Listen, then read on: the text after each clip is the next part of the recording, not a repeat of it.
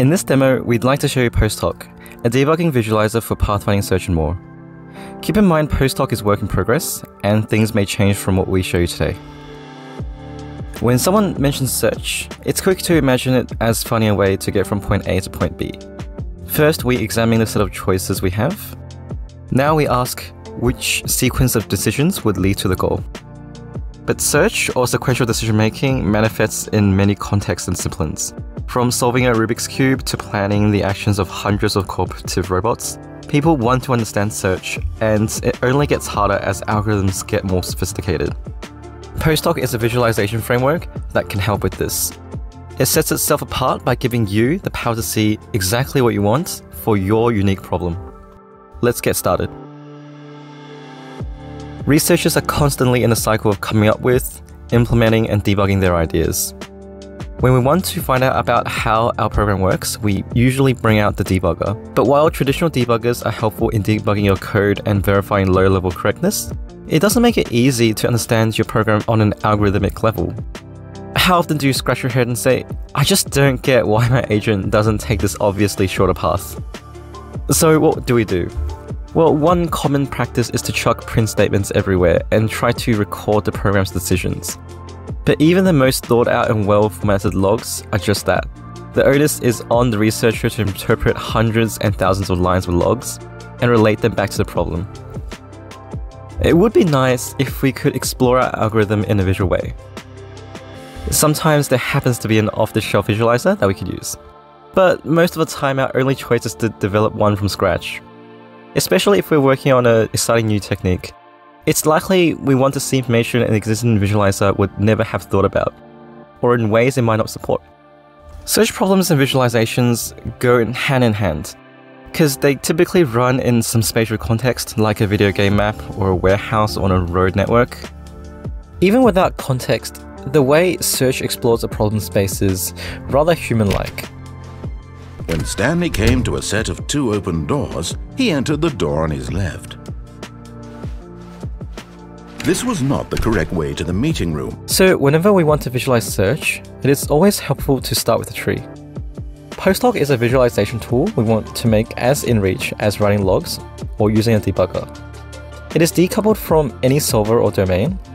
Instead, we give you the tools to record, describe, and replay your algorithm in problem space, help you find problems visually, and garner brand new insights. If you're keen on using PostHoc in your own work, here's how it fits in. First, you generate a search trace, a human-readable record of the steps that your algorithm took. A bare minimum search trace requires only a unique identifier for each event and a reference to its parents. For a single agent search, you'll probably want to output steps like generating, expanding, closing, etc. With a bare minimum search trace, you can already visualize this in PostHoc as a decision tree. But let's make the deal even sweeter. You can annotate the log with simple drawing instructions to render domain-specific visualizations. For a single agent grid search, it might look like this. It pretty much says, I want to render a square for each recorded event at the specified coordinates. You can also include additional labels like G and F values for purposes of inspection or debugging. Now, just chuck this into PostHoc and watch it come alive. It's up to you to decide what's important for understanding and analyzing the decision making process. You might want to record an event every time your algorithm branches or improves a bound, or every time it commits to an action. PostHoc requires no installation or configuration to get started, but we also provide toolkits for popular languages to help you generate search traces and make PostHoc work for you. Now, let's see how different people might use PostHoc in their projects. Ryan is a researcher developing a single agent search algorithm, DPS. DPS works like this. Each expansion takes the current shortest path, where it identifies a single intersecting obstacle. Then it produces two successor paths. We modify the expanding path to tightly bend around the obstacle on two sides. Ryan needed to check if his algorithm works, and he decided to start by using a visualization. So Ryan took a bit of time to modify the output of his solver to produce search traces. All he has to do now is to drag the search trace into PostHoc. So what I showed you just then was what Ryan ended up with. He decided to show the current polygon as magenta, tentative segments as red, and final segments as green. It's quick to use PostHoc to check for obvious errors. Like, successes should only generate on the vertices of the current polygon, and in an intuitive sense, the path should always appear taut. If the path keeps wrapping around a single obstacle or a few polygons, then something's definitely fishy. These will be things that are obvious in a visualization, but much less so as outputs, logs, or in a debugger. If Ryan spots an error, he could inspect the search event by event to piece together what caused it.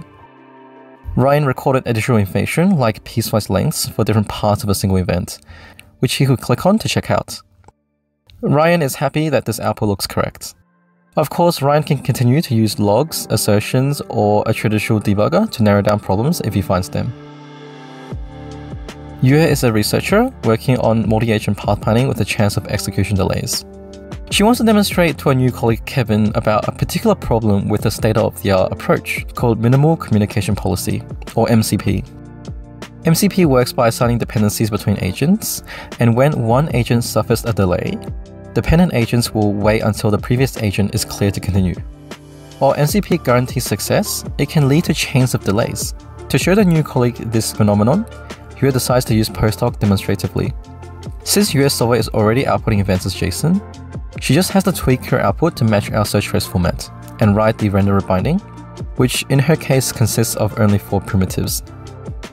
Notice that Yue's search trace records events relevant to her use case. Rather than expand, generate, close like in a single agent search, in her scenario, events are related to checking, moving, and clearing agents in a grid map. Let's get a quick idea how to interpret this visualization. I've set up a breakpoint rule to skip cleared events. These events are responsible for clearing an agent before drawing them at the new position, and we just want to see the clear and draw as a single step. Here we see that agent 0 wants to move south. However, it must wait for agent 316 to move as it is currently in a cell. Luckily, agent 316 is moving immediately west, so agent 0 follows along, just as we planned. We're using blue to represent a planned move, grey to represent a successful move, and red for delays. Look at how quickly delays seem to pile up. And look at these regions. We can kind of observe that delays appears in chains. Now, Kevin has a better understanding of MCP. Mike is a research fellow working with Yue on multi-agent pathfinding, and one of his recent works computes optimized traffic flow assignments for navigating hundreds to thousands of robots in an automated warehouse. Mike wants to optimize traffic flow by minimizing opposing traffic, which tends to cause agents to have to wait. At such a scale, seeing the individual decisions by agents may not be too useful. So, Mike decides to use PostHoc to holistically compare how traffic flows are assigned using different techniques. He executes his algorithms, drags the output trace file into the visualizer, and the visualizer draws a heat map showing how congested each area of the map is. Unlike Ryan and Yue, Mike uses PostHoc to compare entire solutions. The heat map Mike created not only shows the congestion at each location, but also shows the traffic flow directions and how busy traffic per direction is using these arrows. He can then compare the traffic flow computed by different algorithms and gain insights. Here, he first visualizes the traffic flow assigned by a greedy approach, where the middle of the map is more congested than the other areas. In general, the map is full of opposite arrows indicating opposite traffic that causes severe congestion. The second map is produced by an approach that prohibits opposite traffic, where only single traffic flows are assigned. This significantly reduces congestion between robots and improves efficiency of the whole warehouse. Mike reckons this approach can still be improved if he allowed a small amount of opposite flow, since some routes seem underutilized. He soon found that his third approach does in fact improve efficiency, and here's this approach visualized.